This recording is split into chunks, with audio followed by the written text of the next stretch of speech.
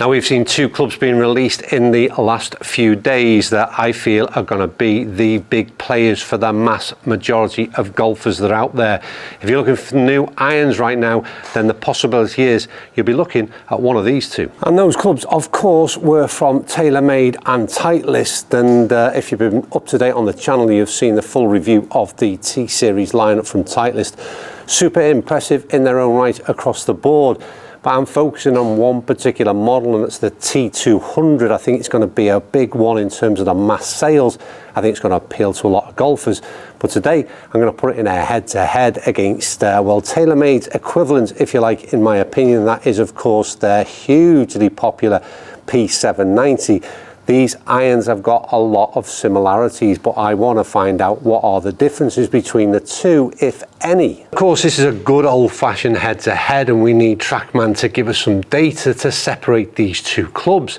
The kind of things we're going to be looking at is the kind of spin number these stronger lofted irons provide, what kind of launch and descent angle is going to be available from both of these clubs, and again, ball speeds is paramount, forgiveness is key. Are we able to recognize a difference with off-center hits? Well, it's TrackMan that will give us all that kind of information and hopefully be able to separate these two clubs from a data factor. But before we get to the data, what about the way these two things look? Well, this is probably the first area where there is a key difference because from a shelf appeal perspective, they're very different. They've got, let's start with that P790, and P790 have got that sort of brushed satin look, uh, very minimal in its design and very popular.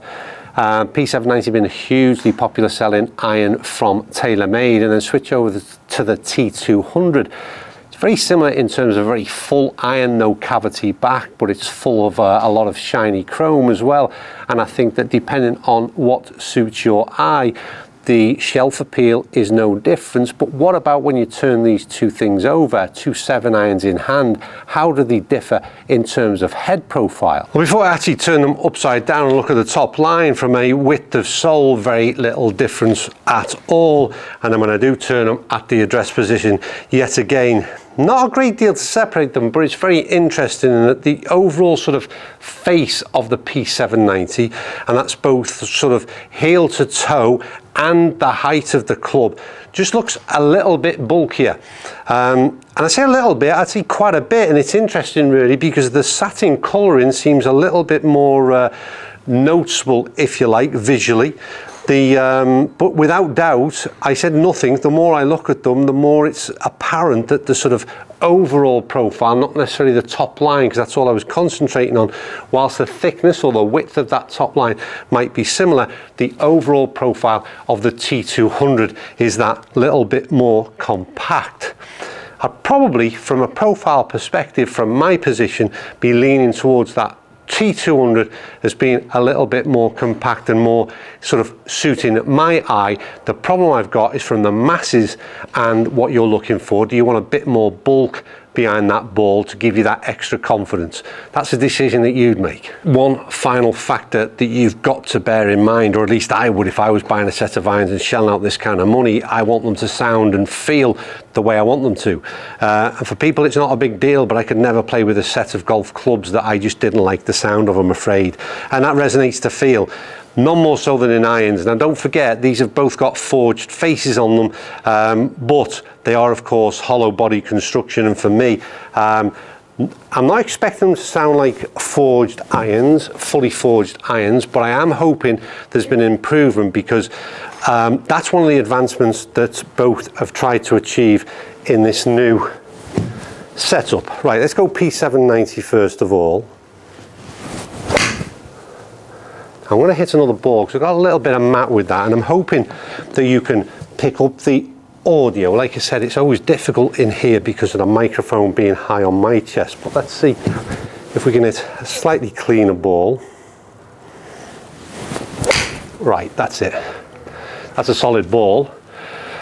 And hopefully you got that sort of crisp strike they have improved massively, in my opinion, yet again on sort of previous uh, iterations. So that's something that um, I think TaylorMade have done particularly well. I'm just going to switch out into a T200 and yet again, Um, if you've seen my original review, this is one of the areas again that I think has been a big improvement. Yeah, solid ball. And hopefully you managed to pick that up. In my opinion, what you'll notice is that the T200 is a huge leap forward in terms of that category. Um, I think it's always one of the most difficult elements to get right is um, this forged face, but not a fully forged iron. Can you get them feeling the way you want? And I think they've both done a great job, be leaning towards what the T200s have done. Uh, for me, super super feel. And um, both like I said huge leaps forward.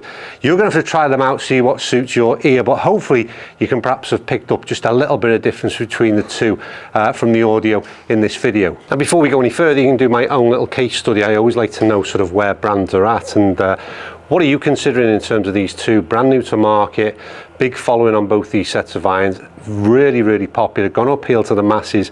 Have either of these irons got an appeal to you? And if so which? And uh, all I want is a simple comment down below. T200 or P790 today's video is brought to you in partnership with Hot Golf the online golf megastore bringing you the hottest deals in golf and of course the clubs featured in today's video find the link to the Hot Golf website in the description below and check out some incredible giveaways and offers so the next question is, of course, performance, and uh, I have only got a 7 iron in the T200s. So our head-to-head -head is good old uh, classic 7 iron versus 7 iron. Lofts are exactly the same. Different shafts. I've got a dynamic gold shaft in the um, in the P790 and we've got an AMT shaft. They're both similar weight and both uh, same flex. So there's not a huge amount of difference in them, but it's worth highlighting that there is a different shaft in these two irons. And of course, what I'll do is I'm going to hit a few balls with each, and then I'll record a full sort of range of data off camera. But I'll give you my first sort of feelings. The first feeling is, and I can tell you this from balls I've hit off camera, that was a P790 by the way, is, is extremely high launching. Um, sort of five iron and uh, seven iron and I've hit five iron for some other testing I'm doing and they've done an incredible job of getting this ball launching extremely high without a compromise on kind of ball speed, spin and all those other kind of things and overall carry obviously. You'll keep seeing that the, my eye line is just not the ball flight you're expecting. I think every club manufacturer has done really well in recent years in improving and helping average golfers with this sort of launch angle. We've just had a conversation um, with a gentleman in here who's has some sort of classic Mizuno irons, classic as in terms of loft or traditional in terms of loft. And he just done some testing in here and recognised that stronger lofted clubs were launching the ball the same as his traditional lofted Mizunos and with no detriment to kind of spin and all those other kind of things. So I think the mindset has changed and we're sort of catching on to that now. But yeah, an extremely high ball flight um, that TaylorMade have got with that P790 lineup, which is all good for average golfers. Yeah, again, I mean, you know, super ball flight. Cut across that one a little bit. I'm sorry we've got no sort of ball tracking data for you to have a look at and that's why I'm going to keep this brief in terms of me hitting shots down the range and we can have a look at my dispersion later. I'll hit one more with the T200 no I won't hit one more because I've just thinned that. And one thing is always prevalent is that forgiveness is one thing but if you thin a ball off the bottom and you hit a bad shot, well, I'm afraid you're going to have to take some responsibility. Yeah, that's better. Super shot, super ball flight. Hopefully again, a few more shots hit with the camera on. You can start to notice the difference between the two. In terms of sound, forged face, neither of them are sounding like a, uh, a forged iron, so to speak. Slightly bit of clickiness between the two. Um, I would say a slightly softer feel coming off that T200. Either way, do you know what? I'm just going to keep this very brief, simple and straightforward. I'll hit more balls with both, not many more, because uh, we've got a fairly consistent, even just those two alone, were very consistent indeed. Let's finish off, let's go through the data. What makes these two irons different, if anything? Right, that's it. All we can do in terms of hitting golf balls. I've only hit sort of, what is it, five or six with one, seven with another, but uh, we've pretty much got to a position where I'm happy with what we've got. We've sort of kept the swing speed, club head speed, relatively controlled again, something I've been trying to do this year, which is trying to replicate my swing that I would hit out on the golf course rather than the one that you hit on the range. It was often a little bit quicker at times, a little bit less control because you don't have to worry about it as much. So anyway, 70, look at this, this is interesting. So the first thing, club head speed, 76.6 with the 790, 76.8.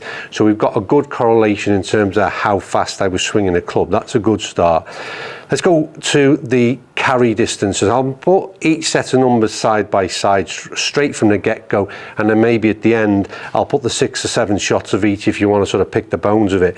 Um, but essentially really interesting, the average 152.4 carry with the Titleist, 150.7 with the 790.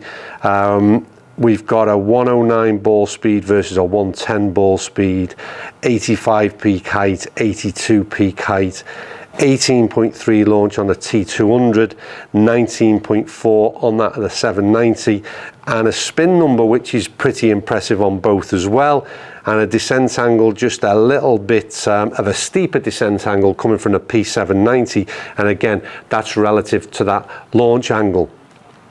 So the verdict really is this.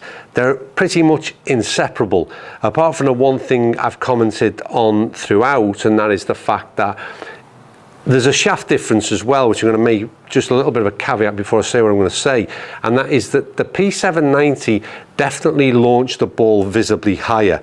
Now, it's one degree higher according to the stats in TrackMan, so that's well, that's what it did. But it was a noticeable difference for me in terms of ball flight in here. Um, I'm not really sure what's gone on with P790s, but like I said, both the 7 iron and the 5 iron that I tested in the original review are launching a ball really, really high. They've certainly optimized launch conditions, but it's not at a, uh, a loss of distance. Spin is banging where it should be, 5,500 revs for me, and that descent angle obviously makes a difference stopping the ball. That said, the T200, I've got pretty much near as damn it in terms of the data. But the one thing that T200 has um, over the P790, in my opinion, is just a little bit better in terms of that sound and the feel. Whilst the P790 is improved in terms of um, that hollow body construction, uh, always a little bit clicky for me, P790s. It's improved, but still, if it was the one criticism I've got of the club, that would be it. Where the T200s have got a real nice uh, feel and sound to them. Um, then you got that looks department, which I said at the beginning, not something I personally want to get involved in on, in terms of opinions. They're both really look good looking clubs and I think you've got that you've got the price point which again I don't think I'll put it on screen for you now because this is filmed before T200s were released but in terms of at retail I don't think there's going to be a great deal of difference separating these two clubs. They're both very much at the expensive end of the marketplace but I do feel like you're getting either way you're getting a good set of clubs but you're going to have to invest a bit of money uh, to get your hands on them so all the things you're going to choose is first of all custom fit is imperative. You've got to find out what the differences are between the two of these clubs in your hand, especially when you're paying that kind of money.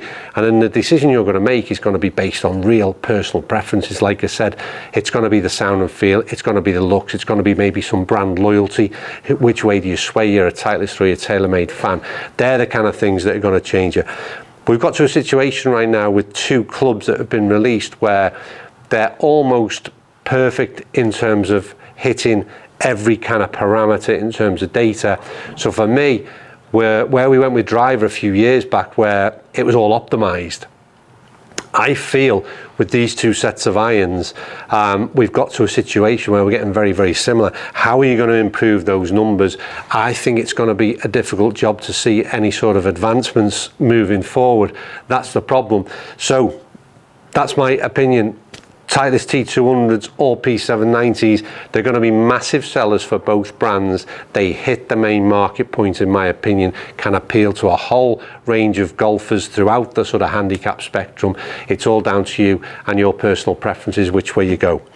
Right, that's me done. As ever, thank you for watching. Uh, let me know your feedback. As soon as you've tried these two out, I'd love to you to come back to the video and give me your thoughts as well and uh, agree or disagree. But either way, just let me know in that comment section. Thanks as ever for watching. See you soon.